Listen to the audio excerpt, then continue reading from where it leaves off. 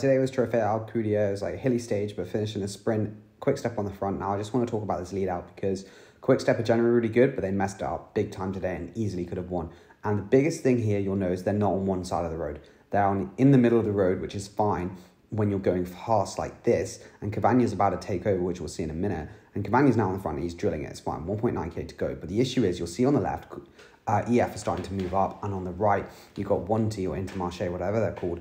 And the issue is is that they can get swarmed on either side. If they want to go like, and then that means the person in the middle has got nowhere to go. Well, at least if you're on one side, the person who's swinging off basically stop the other riders from moving up. And what you'll see now is that everyone's starting to move up. 1.9k to go, quick step of running out of gas because Cavagna's done um, quite a long turn. But now what you'll see is look at the left and the right. People are coming up on either side, and their sprinter, whose fourth wheel is now surrounded, he's boxed in Ethan Vernon. He can't get out. And now when these people start sprinting, uh, like EF and Intermarché, they're going way harder than what Cavagna can do because he's just done a max effort. So he's got no way of responding. And the rider stuck behind him is then boxed in as well because they've already gone past him. So now, where is uh, Ethan Vernon? Now, we'll, we'll, you can watch Ethan Vernon because he actually has to move up on his own and he would have won the sprint, I'm convinced, if he had a proper lead out because it was super technical finish.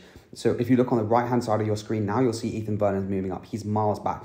He's about eighth wheel now, moving up now on the right hand side. Keep watching. He hops through the barrier under the tree, and now he's moved up to sort of third, fourth position. But you do a massive effort. You keep watching him now, and then if you compare that to like Vandenberg, who basically had an easy ride, uh, gets swarmed on the last corner, no stress because the UAE guys can give him a perfect lead out so he's going really hard. Look at Ethan Burney, he's now fighting on the left hand side in the wind continuously.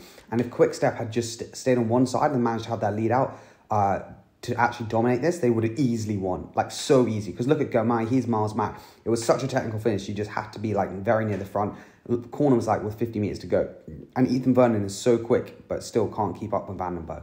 So yeah, basically that was the big issue. Is Quickstep just did not protect uh, either side and they got swarmed by both. And it's just so difficult when people start to come up either side. The guy who's just swung off, like who's doing the turn, he's battered. He can't go and do that thousand watts. So you're really in a difficult situation where the and the person behind him is boxed in because he's got riders either side. So yeah, super difficult situation for Quick Step. But anyway, uh, I think otherwise Vernon probably would have won that easily. So anyway, just watching. Hope you enjoy it. I'll see you in the next one.